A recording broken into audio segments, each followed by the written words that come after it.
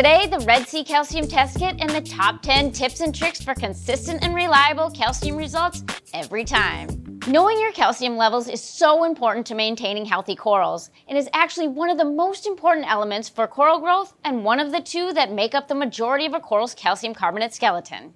It's not a secret. The key to trusting your calcium test results is really pretty basic. Be consistent, as consistency wins every time, especially when performing titration and color changing tests. Which leads to tip number one stay organized. The Red Sea test kit comes in a hard case, allowing you to keep all of your same vials, syringes, and chemicals together so there's no chance of mixing them.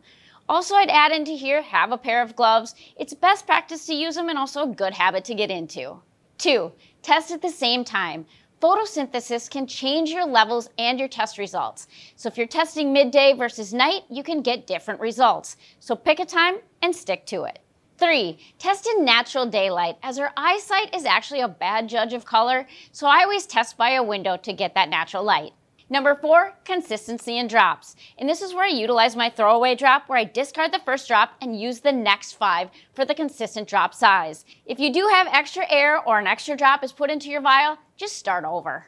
Number five, use a timer. It's not just a suggestion. So do the 20 second shake and then proceed with the testing. Number six, point when the color changes is very important and add your drops slowly.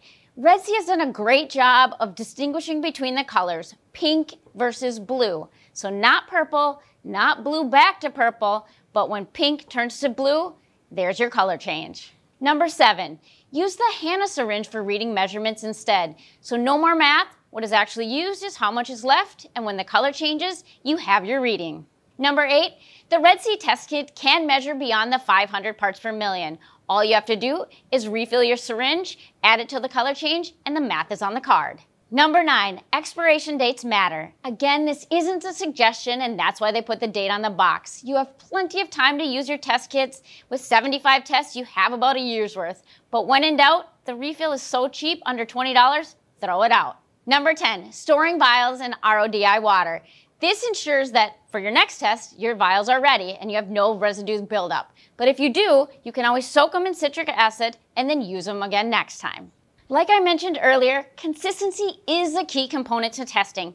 But what if your technique is producing consistent readings but inaccurate results? Check out Randy's Investigates video right over here.